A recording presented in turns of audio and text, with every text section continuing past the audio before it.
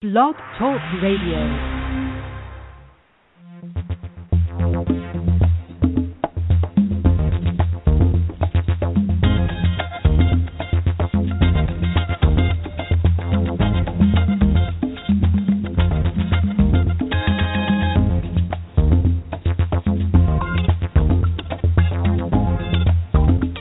Hello and good morning, everyone. I just love theme songs, don't you? My wonderful theme song tells you that it is straight up 8 a.m. Eastern on Wednesday, the 17th of December, and this is Attitude of Gratitude. And my fabulous theme song comes to me and to you from award winning artist David Martinka. His music is available at redbellymusic.com and sunshadows.net, so be sure to check that out and enjoy some more David all the time, anytime, anywhere you would like to do so. We are wrapping it up with an attitude of gratitude today. And I picked that theme because of the holiday time. Here on the live program, it is the Christmas season, and as such, people are doing so much out there. They're baking and shopping and sending cards and visiting people and drinking eggnog and decorating their homes. And they're doing so much.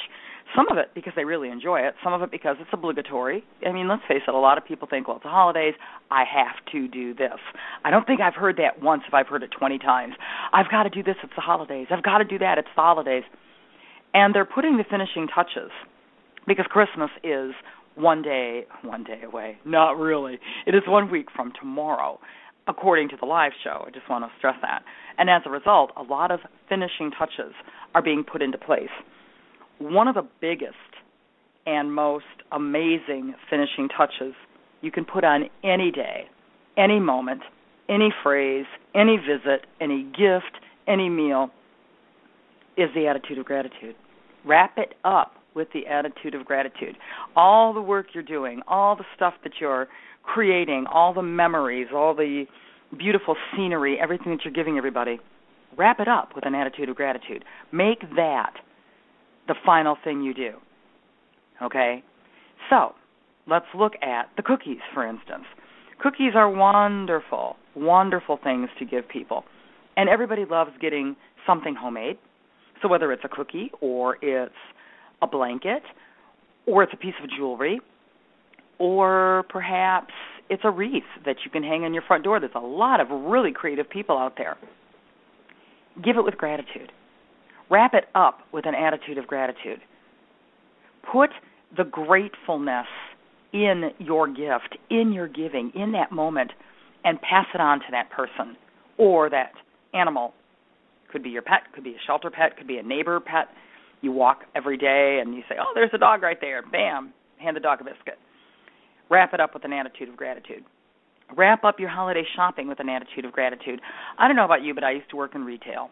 And it was always a pleasure to wait on everybody and hand them. The place I worked at had pink bags. That was their signature. So every time somebody bought something, it went into a pink bag.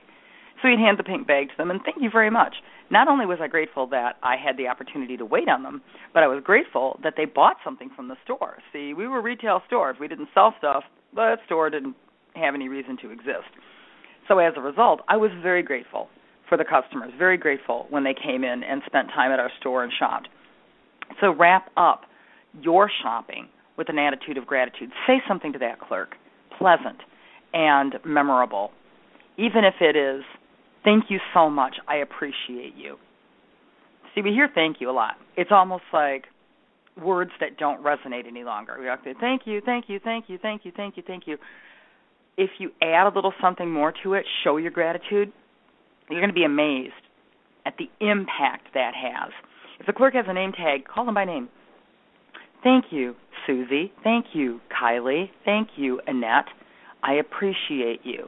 Thank you, Thomas. Thank you, Joseph. Thank you, Frank. I appreciate you. There's a there's a uh, a, a bagger at one of the local grocery stores that I shop at. His name is Gene, and actually, I think his name is Eugene. And he's he's a memorable kind of a fellow. He, he will smile at you if you smile at him first. He's not always smiling, but I think it's just because I he doesn't think to. Well, I call him Gene Gene the bagging machine because he's just when you do that, he kind of gets this uh, giggle going. and I'm laughing because I do get the biggest kick out of him. Whenever I see Gene, I remind him of how grateful I am for him. And he could be doing absolutely nothing but standing there. Seriously, literally just taking up space. Hey, Gene, good to see you, man. How's it going? Or I go, Gene, Gene, the bagging machine, and all the other the cashiers and everybody laugh because it really is amazing to watch his face light up because somebody took the time to recognize him. And whenever I leave, I make sure that I give him a pat on the back and say, "Thank you, Gene. I really appreciate you." I wrap up that moment. I wrap up that time that I spend at the grocery store with an attitude of gratitude. Now, it's very genuine. I mean, I really do mean it. I'm not trying to butter his bread. He's he's just the sweetest person in the world. But I mean it from my heart. But what it does for his heart, I would imagine, is incredible. Sometimes people that work in positions where we think it might be a menial task, such as bagging groceries. I'm going to tell you that's no menial task. And I take those people to task because I am, you know, a perfectionist when it comes to how I want my groceries bagged. And they're trained. Grocery baggers are trained. I don't know if you know this or not, but they literally do put them through like grocery bagging, you know, 101. But they're trained to do things in ways that don't work for me. So I have to retrain them every time I go through the line. Please don't make that bag so heavy. Please don't put, you know, all eight pounds of butter in the same bag. It makes that bag eight pounds. It makes it heavy for me to lift. And they, you know, it's God love them.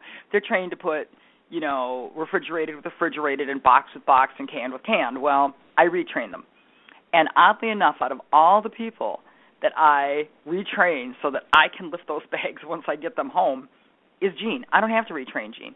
Gene looks at me and goes, "Oh yeah, you can't carry a heavy bag. Oh yeah, you want me to distribute this weight evenly. Oh yeah." And and, and I'm totally blown away. But I think that one of the reasons Gene remembers my grocery order and the way I shop because I'm not there every day and I'm not there every week is because I've taken the time to form a bond with him. I've taken the time to be sincerely interested in who he is. And I ask him, "How are you doing, Gene?" and what what's the best movie you saw last week and you know did you have a good supper last night and how's your cat and whatever else i mean you know we dialogue but it, it's he is grateful that i include that gratitude in my interaction with him and i'm grateful that he remembers me and takes care of me and knows how i need my groceries bagged so that it's efficient for me and that it works for me and my shoulders and my arms and whatever else by wrapping up our interactions with an attitude of gratitude, it has created and generated, you know, a friendship of sorts.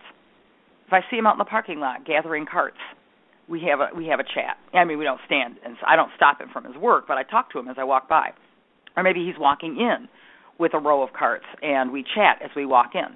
Because with me and my walker and he and his row of carts it it's about the same speed so it works out really well it's like going down the freeway next to a car that's driving the same rate of speed as you are it kind of goes kind of flows so it's cool so that is that's just an example of what I mean by wrap it up with an attitude of gratitude. And interestingly enough, you can do that any time of the year. It doesn't have to be the holidays to do that. And it doesn't have to be the grocery store. It can be the person that waits on you at the dentist. It can be the individual that waits on you at the bank. It can be the person that you're standing next to in line at the fabric store. that person.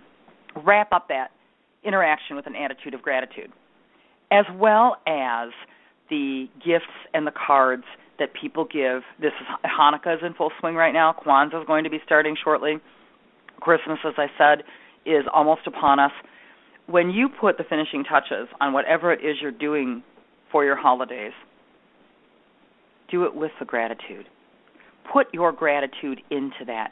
That way, if you're handing somebody a box of chocolates or you're handing somebody a chocolate colored you know afghan or you bought somebody a chocolate colored car i heard there are cars the color this year for certain cars is chocolate colored kind of anxious to see that sounds like it could be pretty cool so the idea is whatever you're giving it's how you're giving it more than what you're giving it. That's the main thrust behind this conversation today. Give a compliment, that's great. Give a gift, that's great. Give whatever, a smile, that's great. But if you're wrapping it up with an attitude of gratitude, it's how you're presenting it. That's what they're going to remember. They're going to remember how you did it.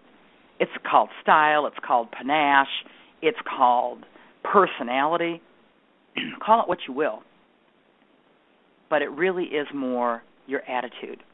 And it's having that attitude of gratitude that really makes whatever you're doing for the holiday, whatever you're doing for that shopping trip, whatever you're doing for whatever, that's what makes it work. That's what makes it absolutely positively glow. That's what makes you memorable. That's what makes that person feel important. And I want to stress that, especially in this time frame, this holiday time frame of the year. There's so much stress, so much tension, so much fear that they didn't do it right. Did I get the right gift? And there's going to be a lot of people open up their gifts on Christmas morning and go, "Really? Really? This is what you got me? Really?" And if you've ever been around somebody like that, and I do have to admit, when I was a child, I had a horrid time being grateful. Horrible time being grateful. Basically, because when I'd ask for something and it was sitting on the shelf right next to what they got me, it was like, well, if that was sitting right there and this was sitting right here, why didn't you get me what I asked for? It was right there. So my logical brain couldn't wrap my head around the gratitude of it all. I, I do have to say I've I've mellowed a lot in my age and I've understood what it really, really means to be grateful. I've understood what it means to appreciate what somebody does for you. I've understood what I've come to understand. Let me speak more plainly or more correctly. I've come to understand how important it is to be in that attitude of gratitude, how important it is to give that, how important it is to receive with gratitude, how important it is not for any other reason but the fact that that means we're operating out of love in this time frame, everybody in the world is looking for peace. They're looking for joy. They're looking for love. It starts with our gratitude. When we can wrap our anything we do up with an attitude of gratitude, you are in that moment of love. You're in that moment of sharing. You're cultivating that peace. Really, it's bringing it all together. Kind of like the wrapping and the tape and the bows. It brings it all together when you wrap it up with an attitude of gratitude. That is why I chose this today. That is why I enjoy spending time delivering this program to people. Because even though this kind of like starts the day for a lot of folks, because it's 8 a.m. Eastern every Wednesday, it just kind of wraps up that thought process. I don't know about you, but I finish this show and I walk away feeling fantastic because I feel grateful for everybody that listens, grateful for the support that this show has received and will continue to receive. Grateful for the opportunity to share and dialogue, and grateful for the growth that being grateful, the Department of Redundancy Department, the, being grateful for the growth that being grateful has brought into my life, and I hope it's brought some gratitude into your life as well. So I'm going to wrap up the show with an attitude of gratitude, saying I'm grateful for everybody that pays attention to the show, that supports it, that follows it and of course by going to blogtalkradio.com forward slash perspective power and signing up to be part of the show. It doesn't cost anything, and you can even schedule mm-hmm. reminders. Kind of fun. I appreciate that. I also appreciate the fact that people go to the Facebook page of facebook.com forward slash perspective power and comment and, and leave messages and forward and share the notifications of this show. Fantastic. I'm grateful for the fact that award winning musician uh, David Martinka has taken the time to put together the music for all the shows on this network, actually. Find his music at redbellymusic.com and sunshadows.net. I am grateful that people follow my WordPress blog, my website, which is Annette Rochelle Aben.wordpress.com. I'm grateful that people buy the books that I've written and published. They are available through my Author Central page at Amazon which is amazon.com forward slash author forward slash Annette Rochelle Aben. I think if you order today, the 17th of December, you might still get them in time for Christmas. And I'm grateful, grateful, grateful, ever, ever grateful that you have the most wonderful holiday you can possibly have. And whatever you do, remember to wrap it up with an attitude of gratitude.